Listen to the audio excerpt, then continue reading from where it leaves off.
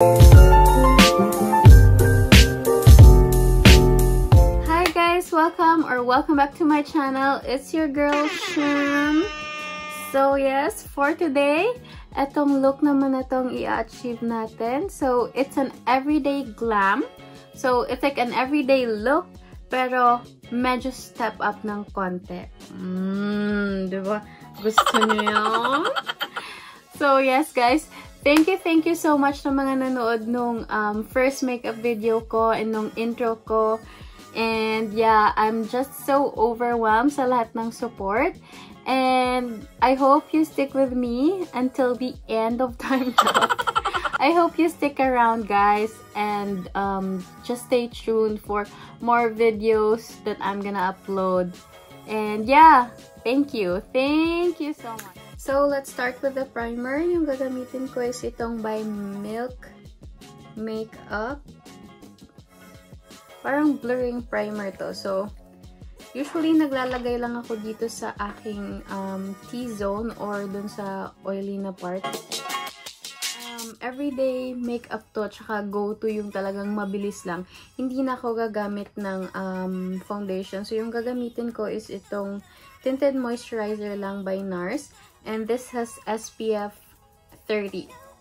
Sana tama yung mga pinagsasabi ko. But yeah, as far as I can remember, meron na tong SPF 30. Which is really nice. And para siyang makeup and skincare in one. Tapos eto guys, wala siyang coverage at all. As in, sobrang light coverage lang. It's a prank, so hindi at all guys. May coverage siya, pero konting-konti lang. So, talagang i-even out niya lang yung skin mo.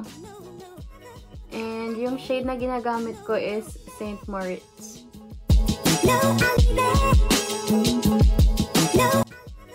Ayan na guys. And you know, the drill.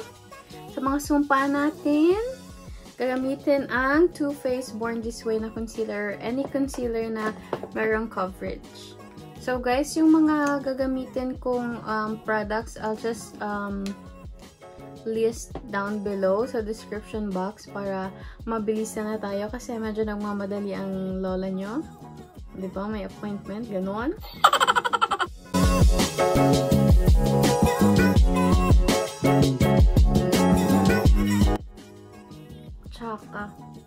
ngayon ko lang na-realize guys, ang late ng salamin na ginagamit ko. So, wait lang kuha tayo ng medyo mas malaki-laking. So, ayan na guys, ba diba? Natago na ang ating mga sumpa. Oh, ba diba? So, mag-move on na tayo sa under eyes. So, yung tira lang din na concealer doon, ilalagay ko dito sa ilalim ng mata. So, since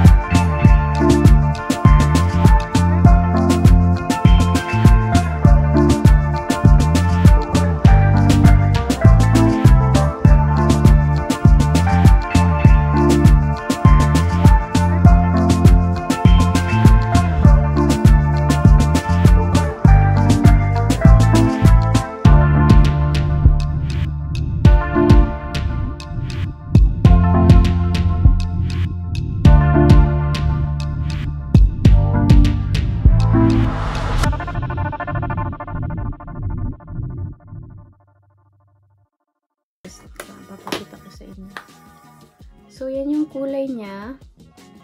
Para siyang um, paano ba i-describe to? Para siyang nude na copper pinkish. Basta, basta maganda. Basta maganda siya.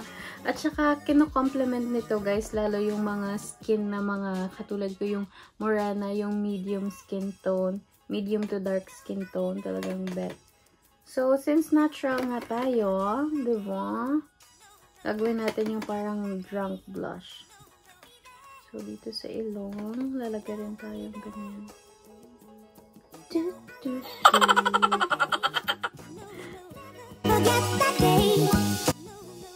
Mm, pak. Tapos yung natitira sa brush, lalagay ko lang all over my face. Ganyan sa chin, sa forehead. Ayan, di ba parang, ah, nasa layo lang talaga naman yung mga mischicha, yung mga na-arawan lang. Ganito talaga kapag na-aarawan. Char. So, for my highlighter, guys, Gustong gusto ko tong um, Be a Light ng Becca.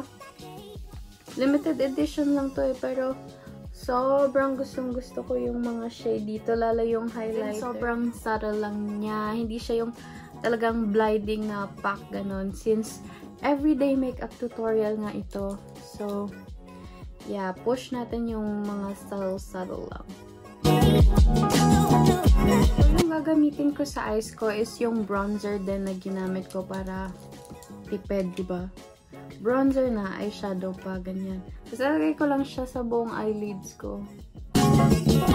So ako guys, pag nagme-makeup ako, um, parang wala akong order na sinusunod. Like, minsan parang, um, fourth or fifth step yung kilay, minsan last. So, wala talagang order. So, kung ano lang...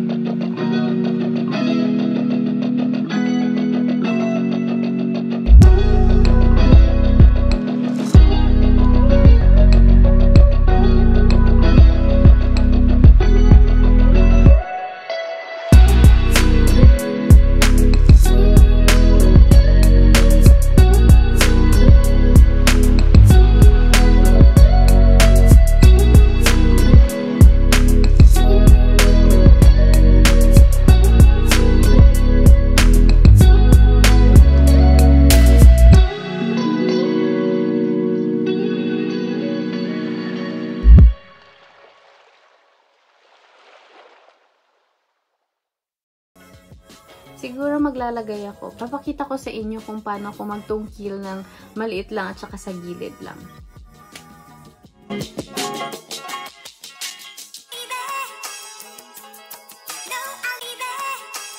So guys, habang wala pang mascara, make sure na isa-set mo na yung face mo ng setting spray. Kasi pag meron ka ng mascara, medyo prone siya sa smudging. So, hindi ko alam bakit hindi ko na-start yung video. Pero nag-spray na ako nitong um, All Nighter by Urban Decay. So, ika-curl ko lang guys yung lashes ko. Tapos maglalagay ako nitong mascara na ang aking paborito, which is the Maybelline Total Temptation. Gustong gusto ko to guys kasi parang hindi nagiging clumpy yung um, lashes ko. Ayoko kasi ng lashes na clumpy. Yung, yung nabubuo-buo. Gusto ko yung parang airy. Yung parang, yung parang natural mo lang talaga siya na lashes. Ganyan yung, yung gusto ko laging i-achieve. Lalo pag like everyday um, makeup yung ginagawa ko. So, yeah. Tapos, after ko i-curl, guys, usually sineseparate ko siya ng finger ko. Kasi parang, minsan parang nagiging clumpy kasi nga parang dumidikit yung mga lashes sa isa't isa. And then, pag naglalagay ng mascara, guys, i-wiggle nyo muna sa baba, dun sa malapit sa root, and then i-ganyan nyo pataas. I-ganyan.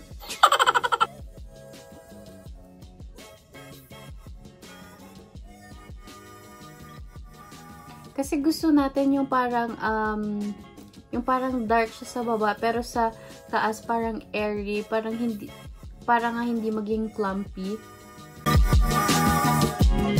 Tapos, make sure guys na pag um, naglagay kayo ng second layer ng mascara, make sure na dry muna yung first before kayo maglagay ng second. Tapos, talagyan nyo yun of course ang inyong bottom lashes. So, ayan na guys. Nakikita nyo ba? Nakikita nyo ba yung minimin ko na gusto ko hindi siya clumpy? Yung parang airy lang. Nakikita nyo sa tip ng lashes? Talagang parang walang product dun banda. Talagang dun lang sa root.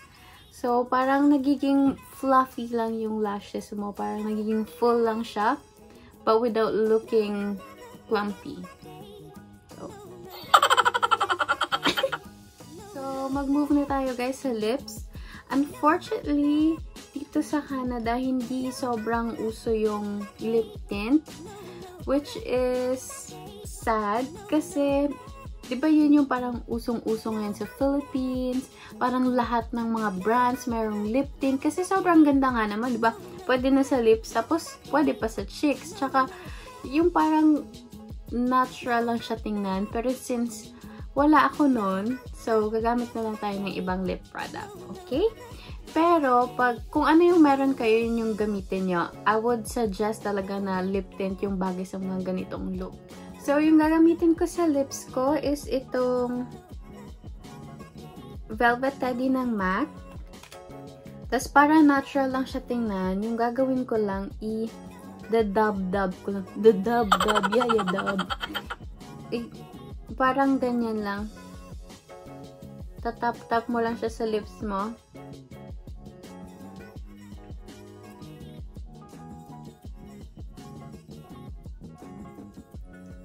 Tapos pag feeling mo parang may nagawa kang harsh na line, isa-smudge mo lang siya ngayon ng fingers mo.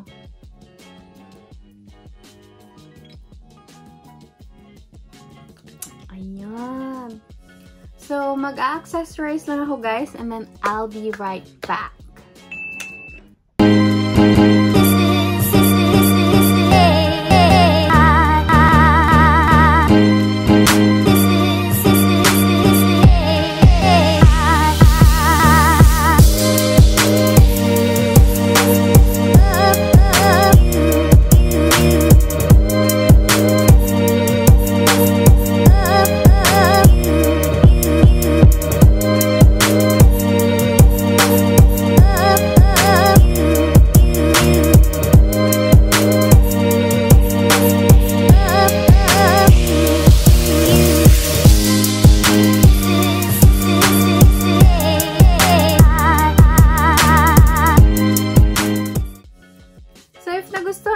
itong look na to guys, please like and subscribe to my channel and pakiclick na lang din po yung bell notification button para lagi kayong updated whenever I upload my videos. Thank you so much again guys. Stay tuned for more videos. See you on my next one.